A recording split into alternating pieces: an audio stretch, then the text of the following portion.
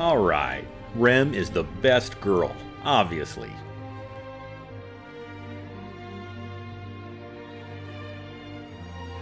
Ah, there you go, Subaru. Even though you fuck up sometimes, you still come through in the end.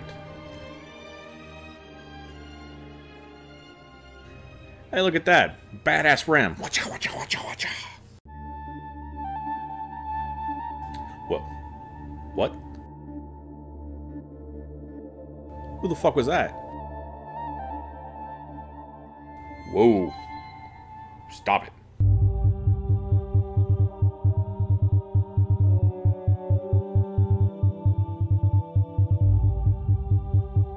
No, no, no, no, no, no, no, no, no, no, no, no, no, no, no, no, no. Oh, nope, nope, nope, not having this. Stop, stop.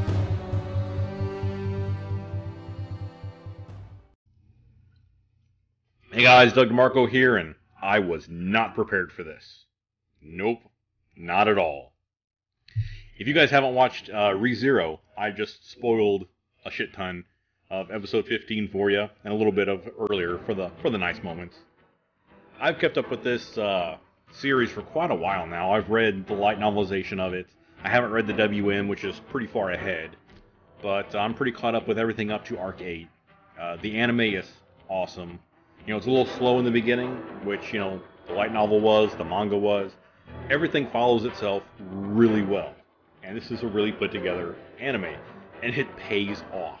It's I cannot stress this enough. You know, it pays off for watching, which is excellent. But uh man, episode 15. Oof. And and it only goes downhill from here, guys. Sweet baby Jesus help you know, it only gets worse. And it gets worse bad. So, uh, this is just a quick take, just uh, throwing it out there. Definitely watch Re:Zero if you haven't yet. You know, hopefully this is enough to pique your interest. If not, I don't know what is, but this is an awesome series. And, dude, watch it. Also, uh, check out the outro. I got a little uh, surprise at the end for you if you do. Thanks for watching, and you guys be awesome.